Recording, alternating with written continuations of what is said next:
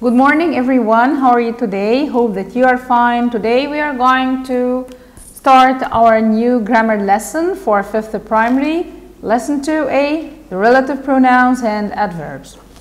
Now, before we start, I want to ask you what are the relative pronouns and how can we use them? Now, let's move to slide number 2 to see what are the relative pronouns and how can we use them. A relative pronoun is used to connect a clause or a phrase, which means a sentence, to a noun or to a pronoun.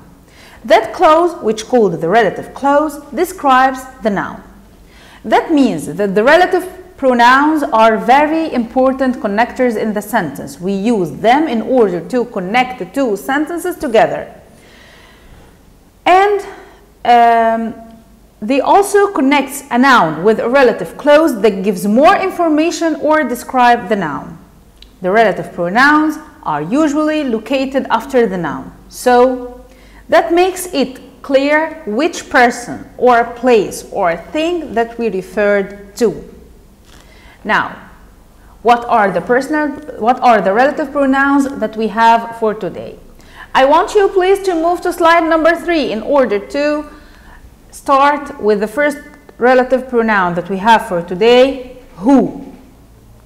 Who, we use who for people and we replace it instead of the personal pronouns I, he, she, we, they. So that means that we use the word who in order to refer to a personal person or to people. So please let me give you an example for this. The woman who called me yesterday wants to buy the house. Now, I wanted to ask you, where is the noun in this sentence? Very good, the woman. And where is the relative pronoun? Very good, who. And where is the relative clause? Who called me yesterday?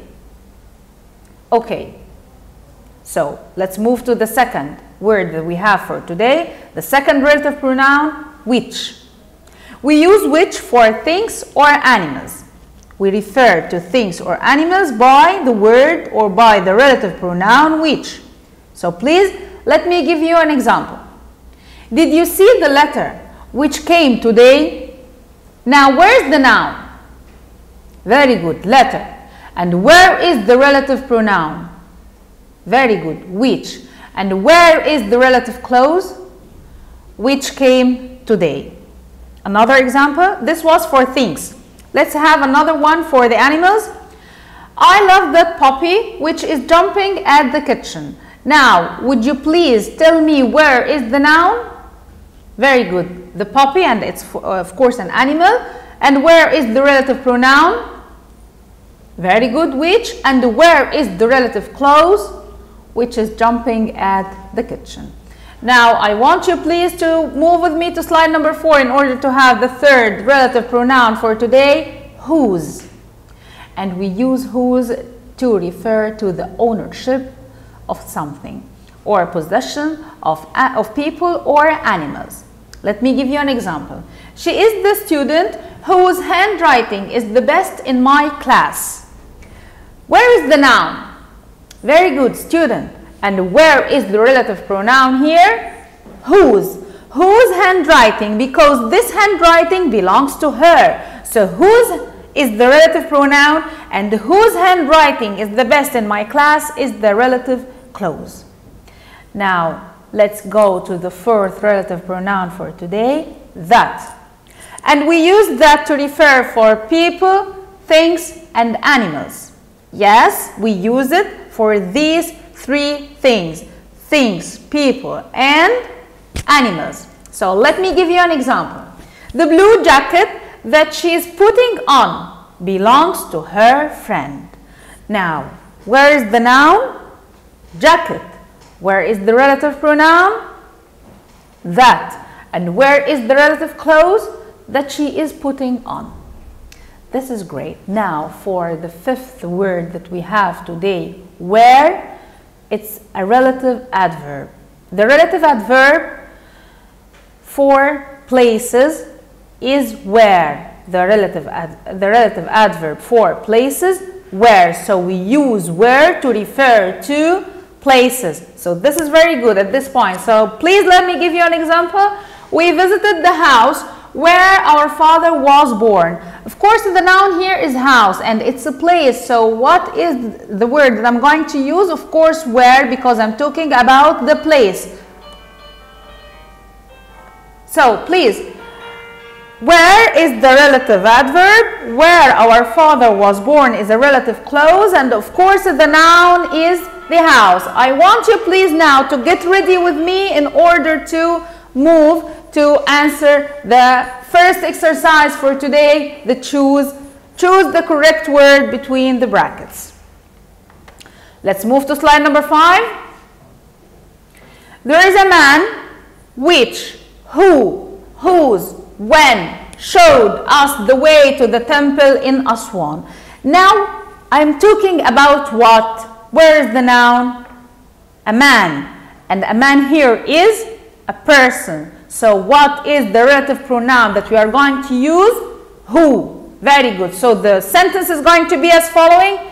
There is a man who showed us the way to the temple in Aswan. Now let's move to the second one. That's the hairdresser. Which, where, who, when cuts my hair. Hairdresser is the noun. Very good. Yes, it's the noun. And it refers to a person. So we are going to use who. Very good. Now let's move to the third one. The restaurant to which, where, who, when my friend works in is really expensive. Restaurant here is a place. So what are we going to use? Where. Very good. Number four. Mrs. Mona is the woman who whose, where, when. Son went to London. Son here is something belongs to her. So I'm expressing an ownership. So which relative pronoun that I can use in order to express this? Very good, whose. So Mrs. Mona is the woman whose son went to London. And now let's move to number five, the part which, where, who, when we spent the weekend was amazing. Yes, it's a place, and I'm talking about the park that was amazing. So, which word? Where. So, the park where we spent the weekend was amazing. So I want you please to move to slide number six to, uh, to answer the rewrite question and let me tell you that we have got two ways in order to answer the rewrite. The first way with the first question, let me say um, the question for you at first and then we are going to think together how can we answer this. Number one, the book is on the table. It has got a blue cover, which now where is the noun? Of course, the book. And where is the personal pronoun that refers to the book? It. Very good. So, in this case, how can I answer it? Okay, step by step. First, we are going to underline the noun. And also, we are going to underline the personal pronoun. So, we have underlined the book and it. Now, I want you please to drop it and put which instead. So here I'm having two sentences. The book is on the table and the other sentence which has got a blue cover. Now how can we join this sentence together or rejoin it together actually? We said that relative pronouns and relative clauses comes um, directly after the noun. So where's the noun here? The book. So the book which has got a blue cover is on the table. Are you with me? Okay, so step by step, we first underline the noun, then we underline the personal pronoun that refers to the same noun, and then we put the relative pronoun, and I want you please to make something to circle the relative pronoun with the, uh, with the sentence after it to make the relative clause or to remark the relative clause with you.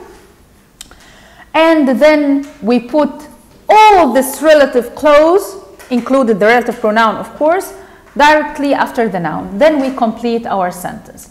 The second way that we have is going to be here in the second question.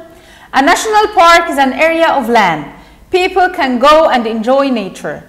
Now, do you have here a personal pronoun referring to the same noun? Would you please read the sentence again?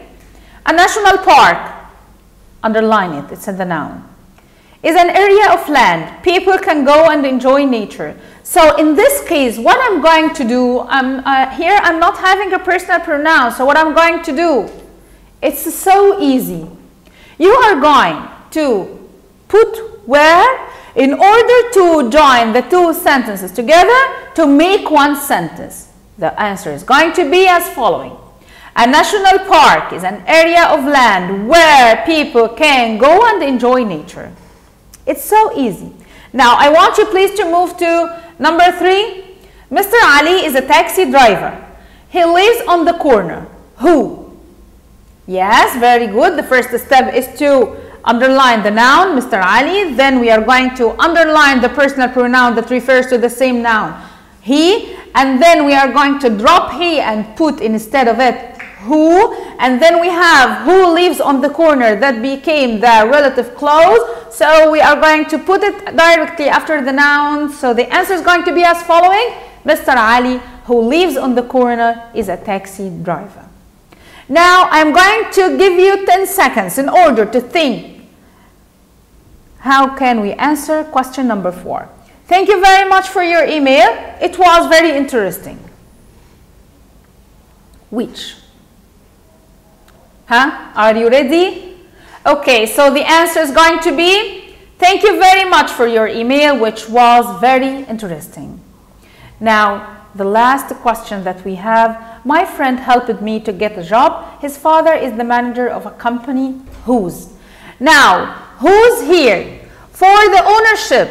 So, can you exactly tell me where we can put whose?